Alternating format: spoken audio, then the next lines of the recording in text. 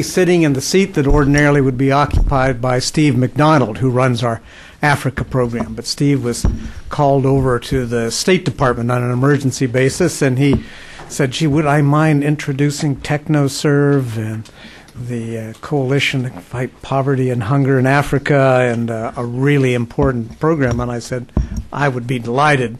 in many ways, my own program looks at globalization and what it can mean for everybody, and this fits very nicely into that kind of thinking, too. Well, for those of you that are new to the Wilson Center, let me just say a word about our own history. We were established in 1968 by the Congress that was looking for a way to honor President Woodrow Wilson, our 28th president. They decided against another marble statue or monument and instead created this living memorial. And they, the mission that they gave the center was to capture both sides of Wilson's life. Wilson, as you may know, was the only president to have earned a PhD, and in his era was quite a prominent political scientist before going on to be president of Princeton, governor of New Jersey, and then a two-term president. So what the Congress asked us to do was to bring together, in a sense, as I said, both sides of Wilson's life, the people who were doing the best thinking on public policy, together the people who were making, influencing, or implementing that policy. And that's very much what we're trying to do here today.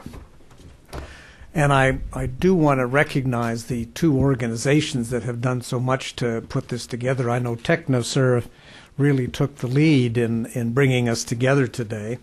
Uh, TechnoServe is quite an impressive organization. They have worked, I think, in some 30 countries. They really provide exactly what their name suggests, which is the technical advice, but in the context of working very much with the private sector. They look for entrepreneurs. They try to foster entrepreneurs that can together really attack uh, these problems. Um, they, uh, you'll hear today about what they've done to help revitalize the poultry industry in Mozambique. And uh, that really initiative led to uh, the, the work to build networks of women-owned grain mills that were able to help develop uh, fortified products and poultry products. Our other partner today is another old friend, Partnership to Cut Hunger and Poverty in Africa. And this is an alliance, again, of experts here, African experts, U.S. experts, experts from other donor countries that really work with to forge partnerships with government, private sector, civil society, again with that focus on fighting poverty and hunger in Africa. Again, a very impressive organization. And it is my added pleasure to introduce Julie Howard, who's the executive director in that partnership. Julie's an old friend of the center. It's great to see her here again. Uh, you have her bio, so I'm going to be overly brief, but she is not only the executive director of the partnership, but she's worked in half a dozen African countries, including some work in Mozambique. She is a PhD. She is a much published author, making her a very Wilsonian kind of character, writing on the one hand and doing on the other. She uh, will take the lead from here on and introduce the rest of the panel. Julie, the floor is yours. Thank you. Is this on? Can you hear? Okay, great. Well, Kent, thank you very much for that, that very nice introduction. And I liked everything except I think you said old friend and old a couple of times. And so I'm feeling a little I, I should have corrected that Julie and I were in kindergarten together. And, uh, so, well, thank you. Um, thanks to you, Kent, and to Justine and, and her team for welcoming um, this event to the Woodrow Wilson Center. And it is true, we are old friends, and, and, and we try and collaborate on a number of activities through the year. We find it um, wonderful, really, to be at the Wilson Center because we always get a, a diverse mix of, of, folks, and that always leads to a, a, good discussion of our topics. So thanks to that. And thanks, Susan, um, basically for, for doing all of the legwork, I think, to put this, this wonderful panel together. Um, and I've got the wonderful um, job today of moderating the, the first panel of this discussion, which is called market led strategies for improving the accessibility and affordability of poultry and fortified foods, cases from Mozambique. But I just wanted to say a couple of words in introduction to this topic. Um, and say from the partnership's perspective why why this is such an important time for all of us who care about this this confluence of, of agriculture, food security, nutrition, and private sector.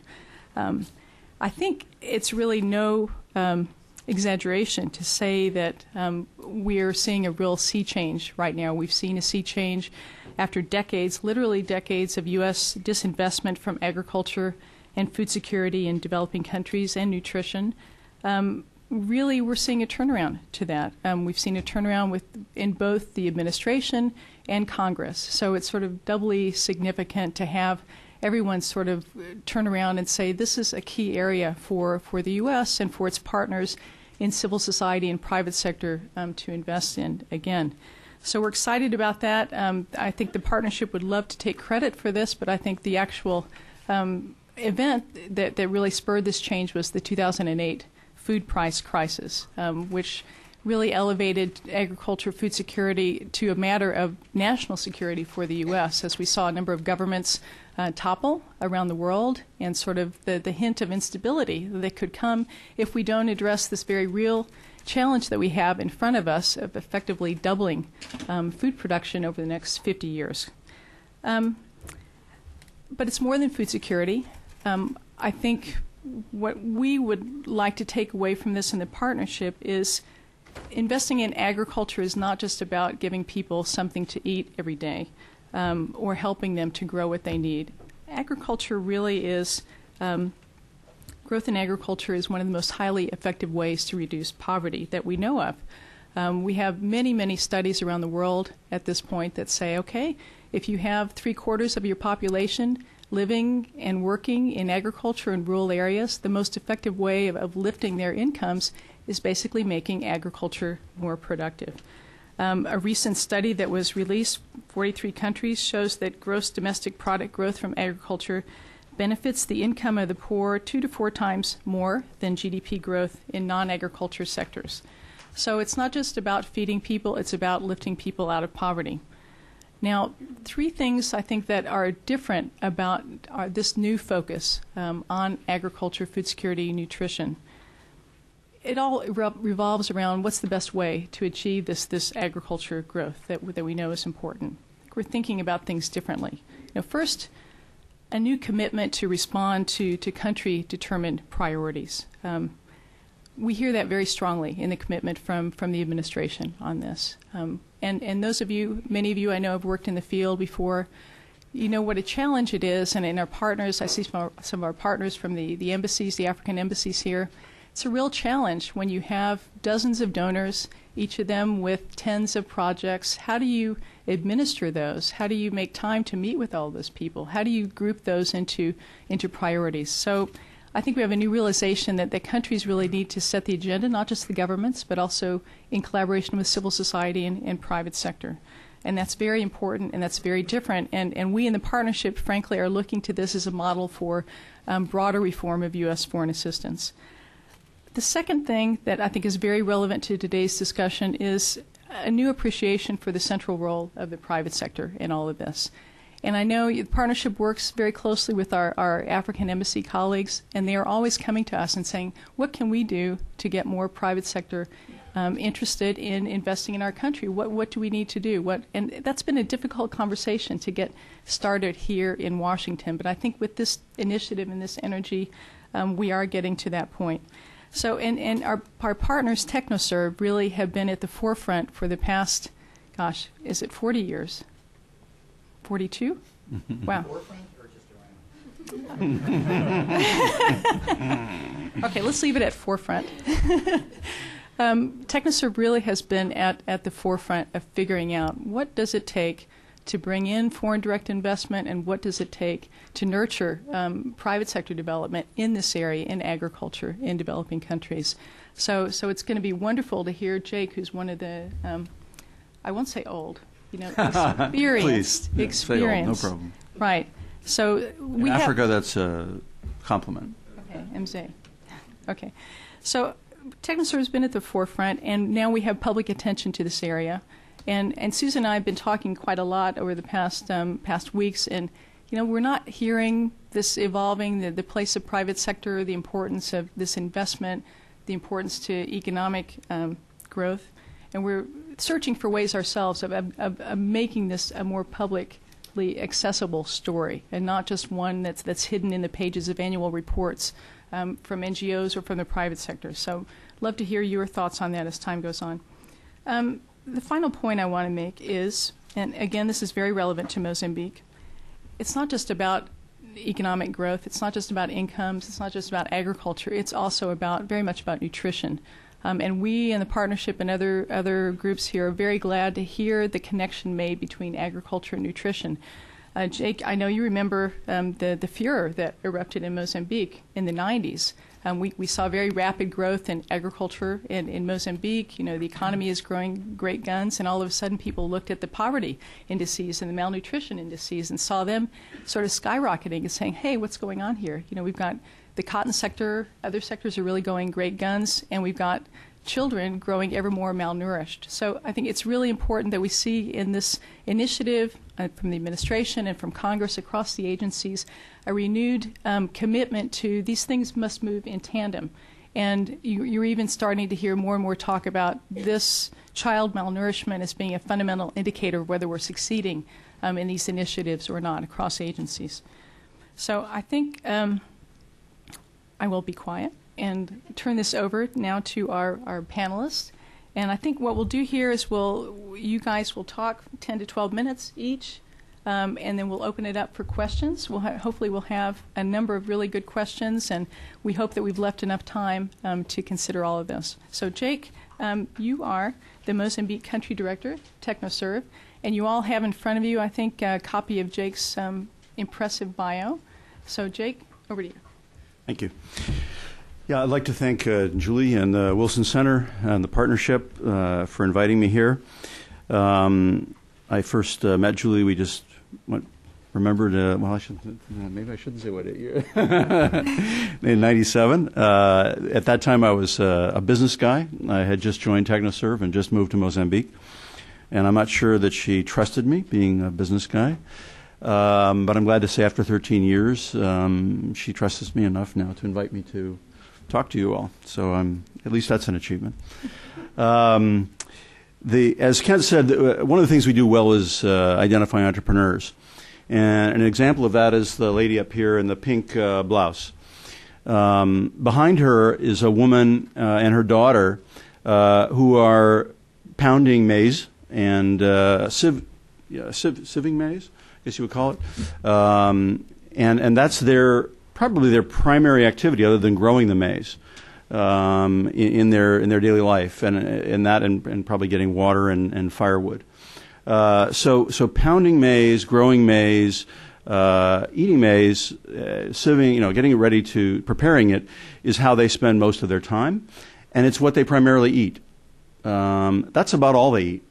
Um, maybe some greens, you know, maybe some peanuts. Uh, but very little else. So maize is at the at the center of their diet, and it's also at the center of their work life. The the woman in front is an entrepreneur who has an idea, and I'll talk to you a little bit later about that. But her idea, and what she's already done, in fact, is to start a maize mill, um, which will provide milling service to these these ladies, so that they don't have to do all that work themselves, um, and uh, they can do other things with their time. Um, and what we're going to talk to you about more a little bit later is the other things that this woman, this entrepreneurial woman, could be doing that deal with issues about nutrition, um, uh, incomes, uh, and other things that are important to this this family. So um, that's just a, an introduction of where we're going. But that's the that's who our target here is in terms of using a business approach uh, to addressing nutrition at the family level uh, in Mozambique. The our, our, thinking on this really emerged uh, before the kind of uh, I think change here in Washington. It was about five or six years ago. Uh, we had done a lot of work in what's called value chain development, but we realized that um, it's more than just money. Uh, as Julie said, uh, there there are quality of life issues, there are nutrition issues. As Julie said, people were making more money but not eating better. There were a lot of challenges at the family level uh, that needed to be addressed. And, and our question was, how could we do this still in a business way? So I think what we just started doing was take the, taking this more multifaceted approach, creating partnerships, uh, recognizing that food is a system. There's many different aspects to it. I'll talk about that a little bit later. A more holistic understanding, and to, to measure our success more broadly. In fact, in our most recent project that we're starting now, we're going to be asking much more questions about are you happier, basically? You know, are you more content with this? I think it's something called the Personal Wellness Index. Um, you know, so it's important to measure nutrition. It's important to measure numbers, uh, but there's other things going on in people's lives that are important to address. Um, and we still think we can do that in a business approach, which I think is what's interesting about this. So, first, I'll start with the poultry industry. Um, we developed and implemented a vision together with the government of Mozambique, the poultry industry, and global corporations. The poultry industry was really struggling five years ago in Mozambique. They had about 25% of the market, 75% of the poultry was, was uh, imported. Um, and it was getting smaller and smaller. They were losing money. They were fighting among themselves. Uh, it was not a very good situation. Um, we developed this vision. Um, we understood that we could go grow grain competitively in Mozambique, particularly in the north. Uh, we were already exporting maize to Malawi at that time. Um, and that's the foundation for a strong poultry industry. But there were a lot of things that needed to be done um, to get the poultry industry going again. Uh, we had to increase its competitiveness. We did that through capacity building, training of companies, um, uh, helping them in numerous ways with, with how they did their business, um, and then also small scale producers. Because it turns out that broiler raising can be done by families. And in fact, in the southern United States, in Brazil, in Thailand, the major competitive countries of the world, it is done by families on a larger scale than Mozambique, but we will get there in Mozambique. But we recognize that family production could be competitive. Um, it was also at the time of uh, avian flu, shortly after we started this program. It was important to mitigate disease. Uh, and also food safety um, was an important issue. Um, and then finally, uh, we had to have a better environment. When we did our study, what we determined was that a lot of the problem the Mozambique industry faced was that the chicken wasn't coming from Brazil, it was coming from Dubai. Uh, it had been there a year. It was past its sell, sell by date. Uh, there was there was no uh, they were meeting no requirements in terms of food safety uh, for the the food to come into the, the, chicken to come into the country, and it ended up being very cheap as a result. Um, now there's a level playing field in Mozambique, and that's what we convinced the Mozambican government that they needed to do was to create a level playing field so the domestic industry could know who they were competing against. They were competing against Brazil, not against uh, you know an old chicken from Dubai. Um, so you can see the kind of partnership that was developed. It was TechnoServe. Uh, Cargill had a lot of expertise in this area. Uh, they were working with SAFE, which is an industry association of animal uh, producing animal products, all, all, the way from McDonald's to uh, Cargill and others uh, that are involved in the international trade of um, of animal products. And their insight was that every country in the world had to have better veterinary services, had to raise the standard of health for its animals for trade to be able to take place globally. And so they partnered with us to help us with best practice in terms of uh, what we were doing with animal health in Mozambique. And then finally, on the, the government is the one with a little. Um, the sickle and the AK 47, that goes back to Mozambique's fight for independence. Um, but that's the government of Mozambique. And then uh, the association, this is the Poultry Association on the right, we created in the course of this, pro- um, um, this program uh, because, again, they were fighting with each other. We had to tell them they needed to work together, that their enemy was actually uh, Dubai or Dubai and Brazil, uh, but it was not each other. Um, and, they, and they figured that out. And then we helped them uh, create a very strong association, which I'll tell you about a little bit more.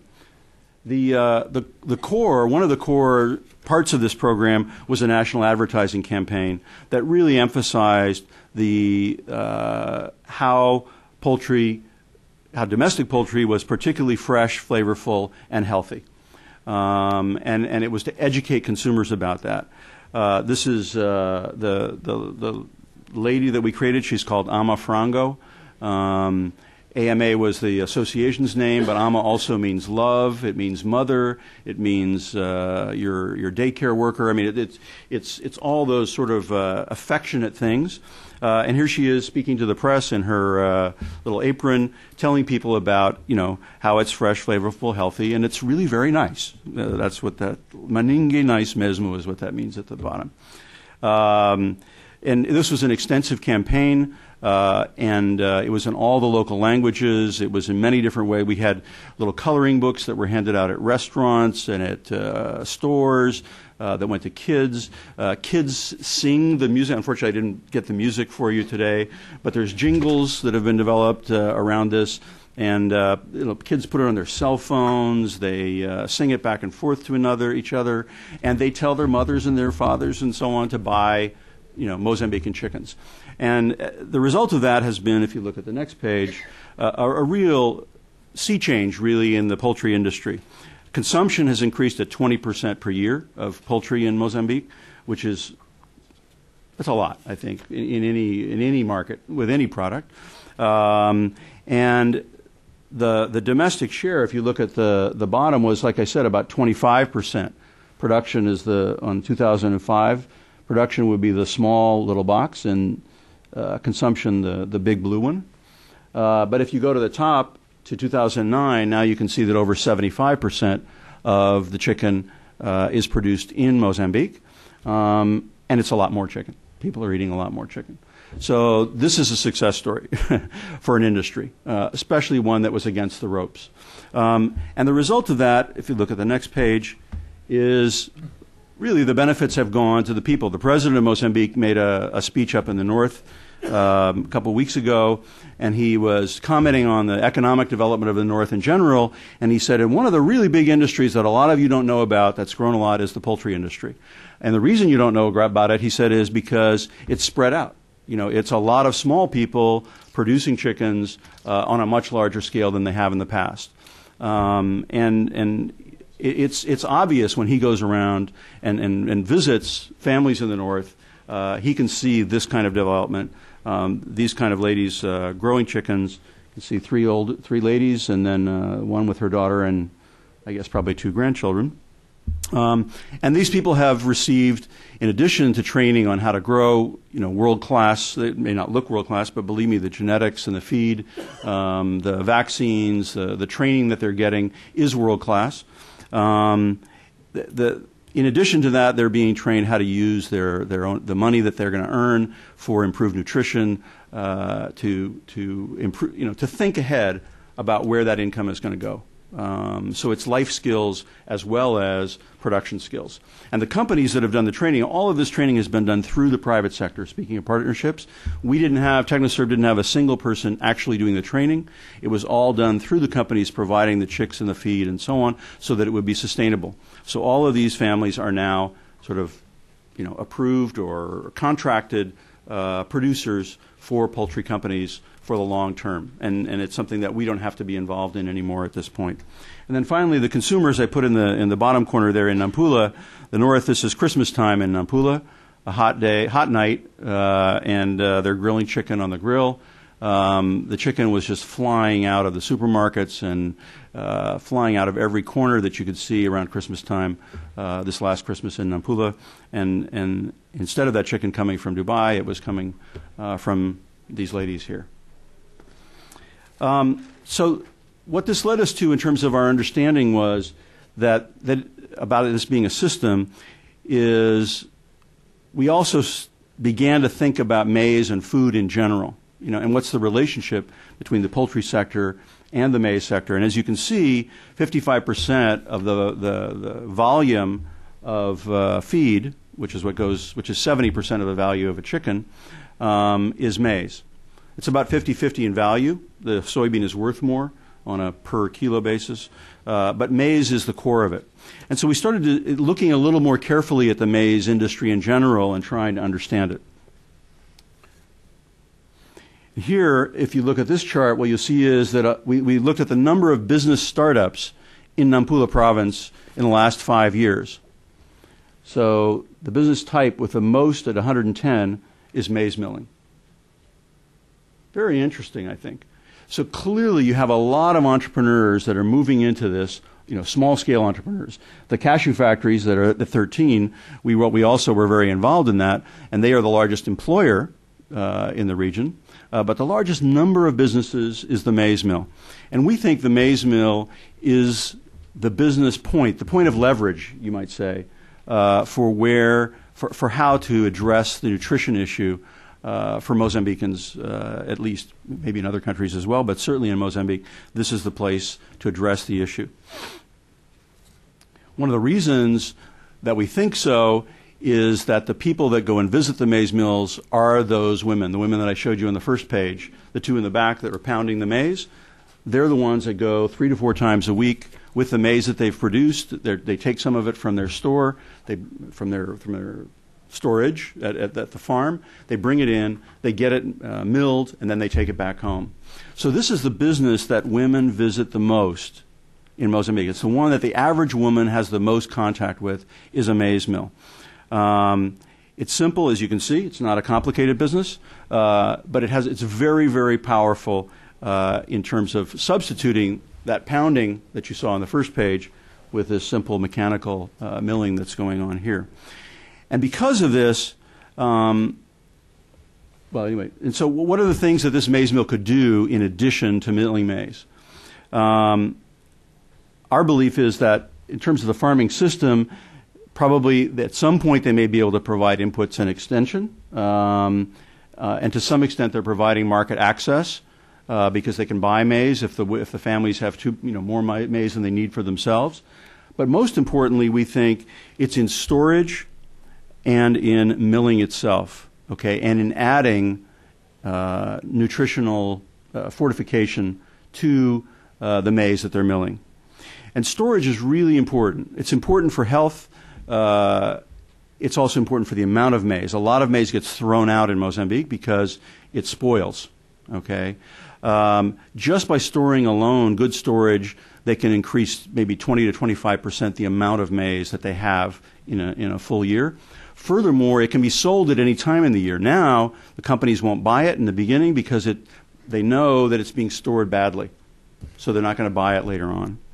Um, and Mozambique has the second highest rate of liver cancer in the world. One of the reasons is because they also have a problem with storage of uh, peanuts, and groundnuts are a major part of their diet as well as maize, but it's also maize. There are large amounts of aflatoxin in maize that is uh, spoiled. So this is a clearly a, a food safety problem. Uh, it's a nutrition problem, uh, and it's an income problem that can be solved with storage solutions at the level of the maize mills.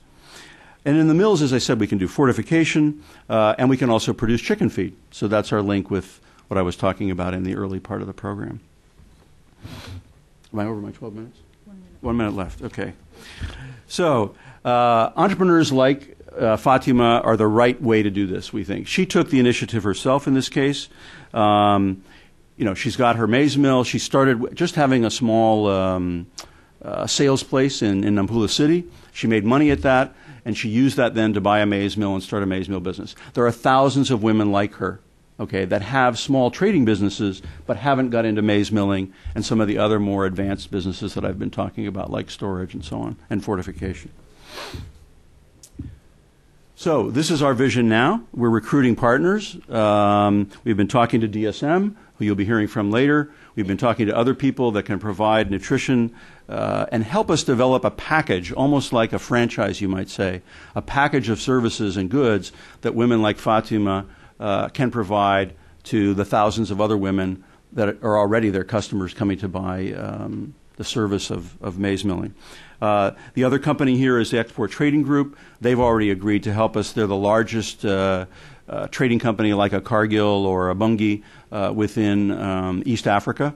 Uh, they, they have a turnover about $500 million a year, um, and they have a very supportive um, team in Mozambique that, that we work with very closely. So, um, you know, we, we have the ability to transfer the skills in these two areas of nutritional products and storage uh, that we think these women need. So, the key to sustainability what has made this a success?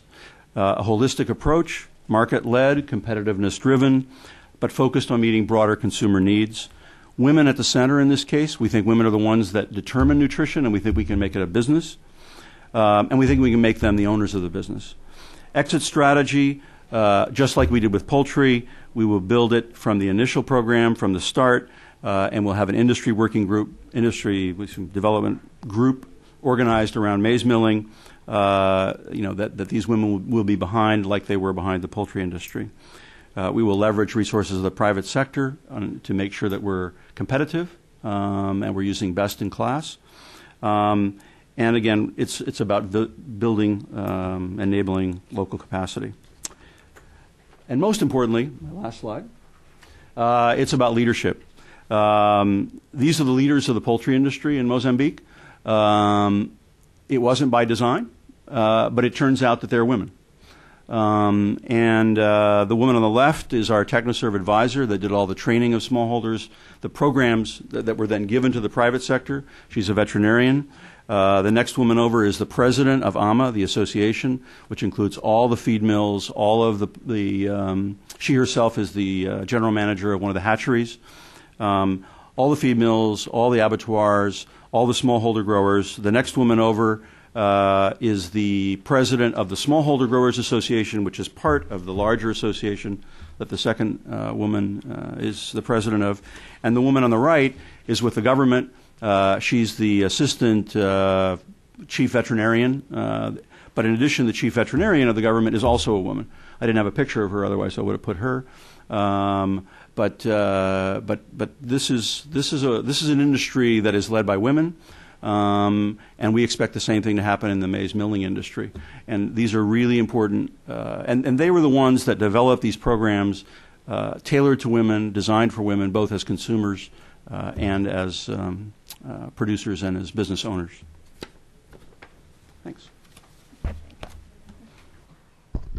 Great. Well, thanks for that fascinating story, Jake. And I know there'll be many questions um, at the close of the uh, the presentations. But now I wanted to turn to uh, to Ron Croushorn, who's the director of Food Assistance Division in the Office of Capacity Building and Development in the Foreign Agricultural Service of, of USDA.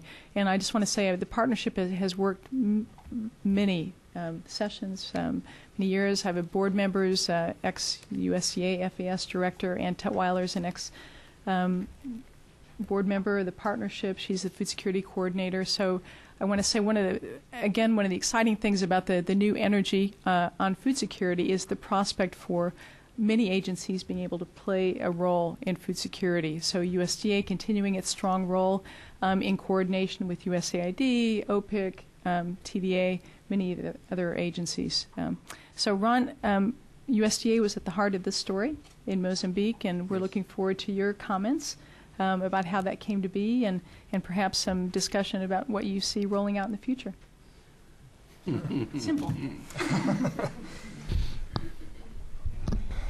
it's always dangerous predicting the future. But uh, good afternoon. It's a pleasure to be here today, and uh, I just want to take just a couple of minutes, uh, a few minutes to just respond a little bit to the presentation.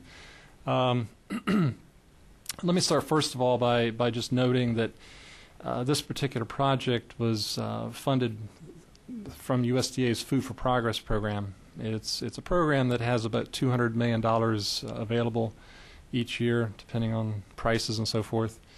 Um, and we use it to support agricultural development in probably about 10 to about 10 countries each year.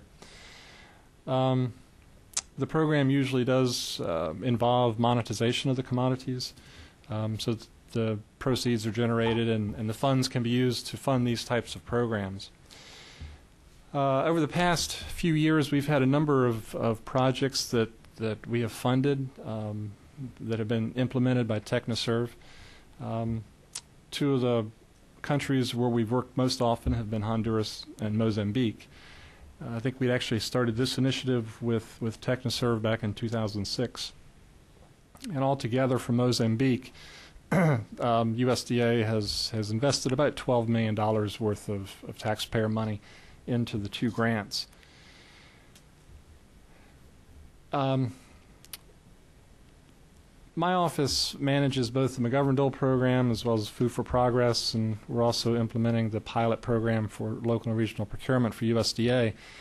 Um, so in, in my chair, I, I get to see from a from a higher level a little bit of um, a lot of the projects that take place. Um, a few years ago, I was more down into the weeds and and I, I, really knew what was going on more. Now I don't know quite as much, but there's certain information that kind of filters its way up. And on this particular project for Mozambique, I've, I've heard from three or four people, um, our attache who visited over there, and all of them had very complimentary things to say about the approach that was taken.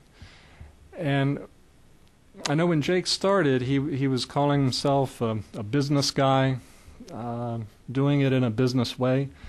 A lot of times, as a donor, when I when I hear somebody who's into something for a profit, I go, well, you know, what's what's their motive here? But actually, for TechnoServe, one of the things that I've seen is is that they do in fact try to identify and focus on some demand driver that's going to be there for a longer term.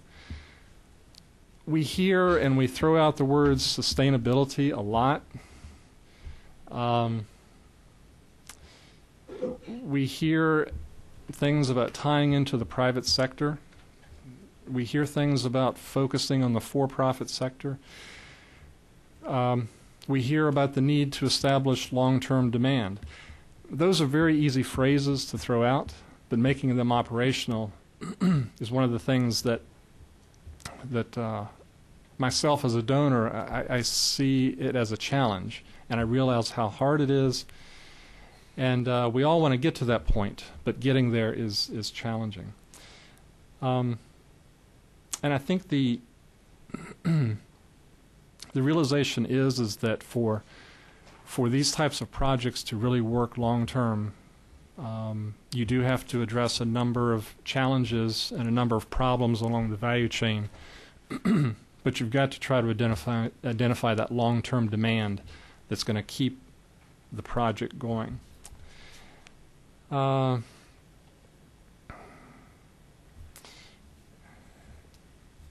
just as a, kind of a final note, within you know within USDA, we face a number of difficult funding choices each and every year. For Food for Progress, we probably get 60 to 80 proposals each year, and we have funding to fund about 10. So, getting down to that list and choosing among a number of very difficult, or choosing among a number of very good proposals is a real challenge. And we have a lot of discussions about how USDA should invest the funding that it has. Um, whether it's value chains, whether it's trying to focus with governments on policy, um, trying to do some type of investment funding or credit funding, those are all very difficult choices for us to make. And one of the things that um, you know I think we're, we're focusing more on more and more again is tying into that private sector, looking for that long-term demand that will keep these projects going. Because if there's one thing that we really want to have to come from our investment, and that is some type of initiative that maybe 20, 30 years from now is still operating and still helping that country uh, continue with its development. So I, I'll end my comments with that and leave time for more questions. Thank you very, very much. Well, um, I think we've got about 15 minutes uh, for your questions. And so, yes, I, I want to ask Justine, do we have microphones? Okay. Um, when I call on you, and could you stand up and perhaps introduce yourself? Okay, please. I don't think you need the microphone. Is that okay? Thank so you. my name is Grace. I originally from China. I work for DSM, just newly moved to US. I'm very curious to hear regarding the Mozambique uh, business model. You mentioned the private sector, how important it is. And as a DSM, as a private uh, uh, sector, so we want to know what kind of successful story or learning experience after the private sector cooperation. Exactly what kind of business model from your experience it works better? Should we take a few questions? Sure. Okay. Why don't we take um, two or three others? Yes, Tony? Tony Carroll with Manchester Trade. Um, Jake, a terrific, innovative presentation, evidence of TechnoServe first sorting out what the private sector piece is and, and working from then on out. Um, just wondering, as a, a trade lawyer, uh, what were your persuasive arguments about the Mozambican government in restricting imports, and how enforceable are those, uh, you know, uh, provisions? Okay. Cindy? Hi, I'm Cindy Huang from the State Department's Global Hunger and Food Security Initiative office. Um, thank you so much for all of these great ideas and what I'm sure will be an interesting discussion. And my question, as Julie pointed out at the beginning, is you know, we are trying to really make new efforts in a lot of fields like country leadership, integrating ag and nutrition, um, whole of government. And so one question is, and when talking about the private sector, how do we roll that up into a compelling story? Because there are so many great examples, and this is certainly one of them. And in thinking about developing our broader private sector strategy, what would you see as the main pillars? Okay, one more, and then we'll turn it over to you guys, and then hopefully have time for another round. Um, Matthew Edwardson with the U.S. Forest Service. Uh, maybe just two questions. One would be, can you talk a little bit about the, I guess, the fees and the payments associated with the association membership and how you got that up and running? Were there kind of costs that were fronted into that? And then just kind of the buy-in of the government and kind of getting the government to think about this across other value chains as well within Mozambique. Okay, these are easy, you know, easily disposed of questions. So I'll turn to both of you, and then if you if you missed one, I'll remind you. um, I, I, think in terms of the business model, it, it really depends on the business. Um, you know, what's going to work for them. I think we, we try to find win-win situations where it's of interest. Like I said, the um, the, the group that came in, both Cargill and, and SAFE, that provided technical assistance on animal health, had a broader agenda, which was to get all of Africa at a higher level of animal health. And they felt if they could take one example of Mozambique, that was a relatively poor country, and improve you know, the quality of veterinary services, that it would show that it would, this was an investment that could be made and was worth making more broadly throughout Africa. So they had an agenda of their own, and I think we just benefited, you know, we took advantage of that uh, for our own purposes. And I think that just comes from networking and, and understanding what businesses are looking for. I think in the case of DSM, I mean, we're just getting to know you. So, you know, whether the strategy is to, um, you know, develop markets for yourself, or whether it's a, a, corporate social responsibility strategy, or whether it's some kind of a combination of those two, we need to understand that better and then mobilize your support, you know, to a project like this based on what your interests are or maybe not mobilize them if it turns out that you know there isn't a, a match. So I think it's a it's a matchmaking kind of an exercise um, that that is really unique to everybody. There's no one business model. Um, uh, and, you know, and I could go on with every business that we deal with. I, I think the incentives are different for all of them. So, so th- that would be my answer there. Um, on restricting imports, um, we, we, we, did a, a, benchmarking globally in the poultry industry to see what everybody else was doing. And what we were looking at, looking for was uh, what we were capable of doing technically, so we couldn't go to fancy testing. Um, but at the same time, we just wanted to make sure it was safe and was kind of, you know, not real old. Uh, and, and, and then we also had to deal with the reality of the situation in Mozambique, and I'll explain what I mean. Um, we, what we did was we came up, we said, look, it's got to be, it's got to be no more than three months since it was frozen which gives the Brazilians lots of time to keep it in inventory, to get it out. It wasn't a restriction of trade. It was just saying by the time it gets here, it's still got nine more months of shelf life you know, to sell, so it's probably going to get sold and we're probably all right, instead of being a year old and not having any requirement, which we didn't have before. Uh, the second thing was it had to come from the country of origin. If the Brazilians produced it, let it come from Brazil, not from Dubai you know, no, it could go transit, you know, somewhere else, but we didn't want it bumping around a lot of refrigerators that, you know, nobody had any control over, especially the Brazilians. And actually, it was in their interest, the Brazilians, you know, to sell a better product, we thought. And, and, and I think in general they would agree with that. They weren't too happy about their product being dumped. Um, and then uh, the third thing was the one thing that was maybe a little bit of restraint of trade was that we required a pre shipment inspection, okay, uh, which is not something I would normally want. Uh, but the reason that we did that was that we knew that customs was getting a payoff as it was coming in illegally from Dubai. And, and that's really difficult to deal with. And we felt the best way to deal with it was that if SGS or one of the inspection agencies was doing the, the documentation in Brazil, it would be a lot more difficult for customs to get around it and fudge it and so on in Mozambique. And, and, and sure enough, after these, this went in and we convinced the government it was the right thing to do and they implemented it, um, the people that came in to complain were the importers and customs. So we were right. Uh, so you know, I think again, it's understanding. It, it's tr- you know, we, we we did not want to create a protectionist environment, and one of the reasons for that was that our analysis showed Mozambique could be competitive. Okay, it did need to learn. It did need to get up to scale. It had a lot of you know infant industry issues, uh, but the long term, because we could produce grain competitively, meant zero minutes. Okay, Yeek. okay, uh, okay. But anyway, that's the answer there. Uh, Cindy. Oh, Cindy, boy, that's the hardest one. I'm sorry. Um, you know, wh- what's the private sector strategy? Again, I think it's it's just being open to it and supporting it, and and, and you know, and like I said, tr- you know, having the capacity to listen to what the private sector, what their motivations are, because I think they can be, you know, multiple. Uh, but you have to engage them and so on. I think the GDA is a good, you know, beginning, um, and there's a lot of experience within USAID uh, that that can be uh, benefited. But also, anytime you change a strategy, you've got to put money behind it. You know, even in private business, I, I've been in many companies where people say, you know, or even NGOs, you know, this is the new strategy, but if there's no money, it ain't going to happen. You know, so you got to think about money. Um, association membership and cost, uh, yeah, we, we, we upfronted a lot of it in the beginning. We paid for people to come to meetings. We, you know, pretty much we covered the whole thing.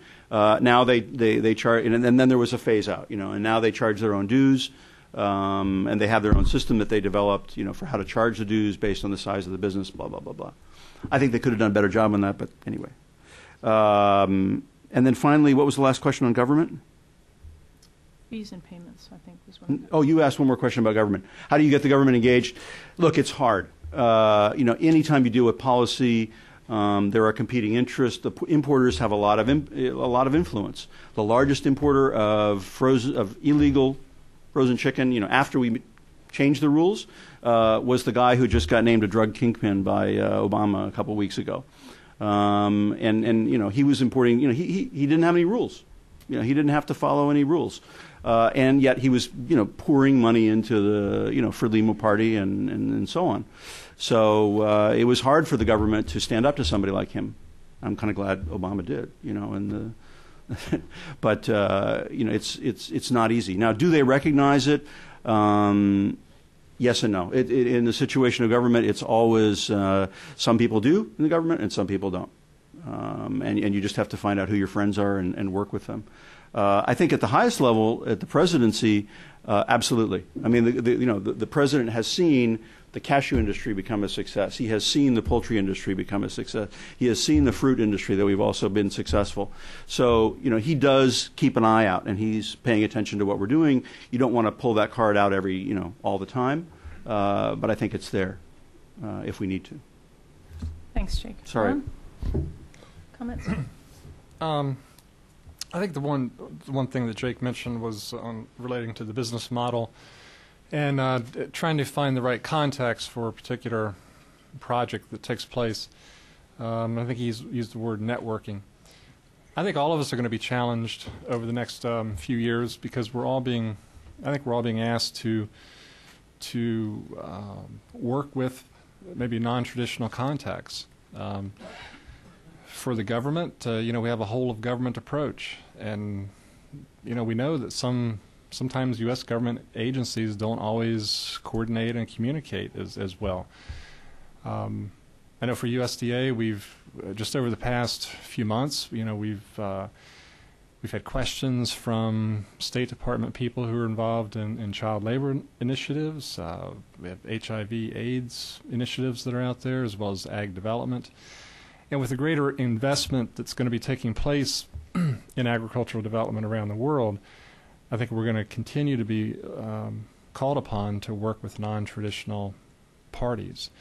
And I think it's those non-traditional parties that may, in fact, be able to help us most by getting us closer to that sustainability. Great. Is there one more burning question No, I'm looking at that sector back there. So Five okay, only oh, yeah. Okay, yes. Anj. Ange Timbo, Africa.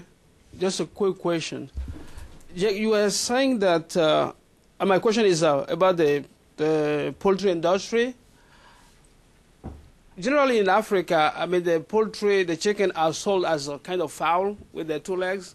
But in this particular case in, uh, in uh, Mozambique, do we have an industry and then we have the whole thing processed and packaged? And if that's a contest, what is, uh, I mean, each woman with uh, it's a very small industry, what does she take? What does she gain out of it? So that's the first question. The second question is regarding the, the, the maize. You talk about the fortification. I just want to know what type of fortification they use over there to improve uh, the nutritional aspect. Thank you. Thanks, Anj. Quickly.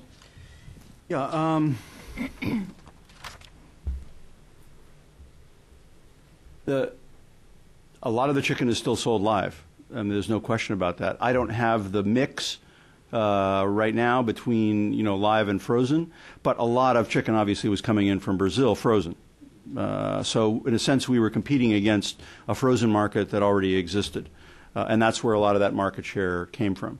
Um, that doesn't mean that those families are only selling frozen or only selling to to uh, to abattoirs, but the expansion of abattoirs has been substantial.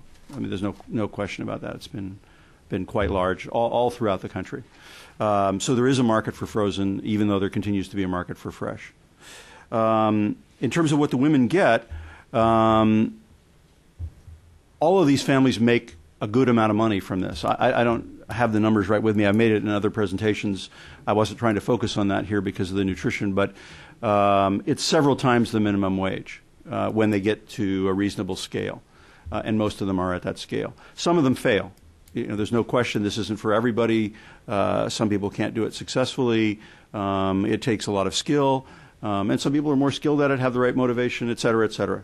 Um, but if, if, you know, if they do it well, um, the median is quite high in terms of income.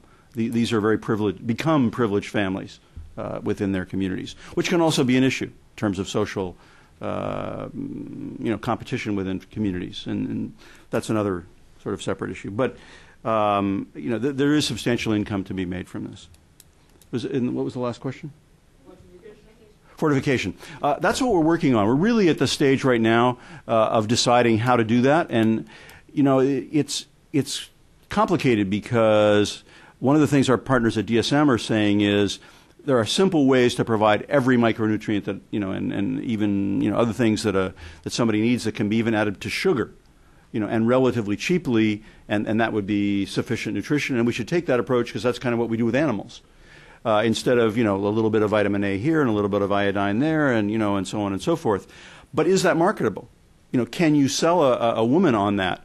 You know, one of the reasons that I think we sell vitamins to us as this vitamin and that vitamin and the other vitamin is that we think we want to understand what our vitamin needs are and you know and kind of decide and you know and, and that actually increases the profitability of the business choice increases profitability in business so there is a bit of a challenge there, and we're working on the business model.